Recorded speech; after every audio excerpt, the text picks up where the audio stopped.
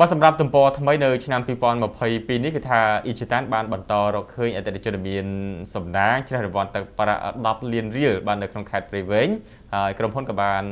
ធ្វើពិធីប្រគល់ជូនដល់ផ្ទះតែម្ដង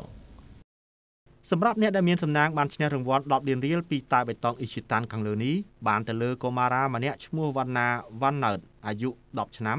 ជាសិស្សរៀននៅសាលាបឋមសិក្សាក្រចាបរស់នៅក្នុងស្រុកស្វាយអន្តរខេត្តព្រៃវែងដែលមានឪពុកម្ដាយជាកសិករថ្លែងប្រាប់ក្រុមការងារដែលចុះប្រគល់រង្វាន់ដល់លំនៅឋានអ្នកស្រីឈុនវណ្ណីអាយុ31ឆ្នាំ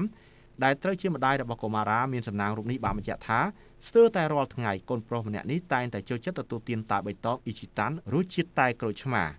ដែលឡែកកាលពីចុងសប្តាហ៍កន្លងទៅនេះបន្ទាប់ពីមកពីសាលារៀនវិញក៏ទៅទិញតែបៃតងអ៊ីជីតានចំនួន1ដបពីអ៊ំស្រីដែលលក់នៅក្បែរផ្ទះយកមកទទួលទានលុះពេលមូលគម្របដបក៏ស្រាប់តែឃើញមានរង្វាន់10លានរៀលតែម្ដងភ្លាមនោះកុមារារូបនោះក៏បានស្រែកប្រាប់ដល់អ៊ំស្រី និងជីដូនដែលនៅក្បែរហើយក៏ប្រាប់ម្ដាយឲ្យដឹង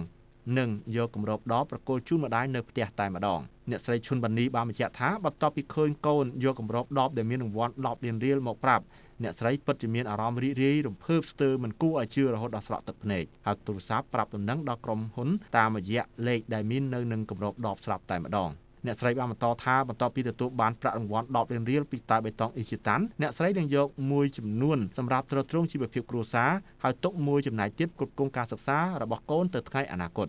សូមបញ្ជាក់ផងដែរថាសម្រាប់រដូវកាលថ្មីទី5នេះអ៊ីជីតាន់បានបង្កើនរង្វាន់យ៉ាងសន្ធឹកសន្ធាប់ដែលមានទឹកប្រាក់100លានរៀល150រង្វាន់10លានរៀល150រង្វាន់ម៉ូតូ Honda Dream 150គ្រឿងទូរស័ព្ទ iPhone 150គ្រឿង និង Ichitan រាប់លានដបថែមទៀតផងសូមពិសា Ichitan ក្នុងថ្ងៃនេះដើម្បីមានឱកាសក្លាយជាសេដ្ឋីភ្លាមៗ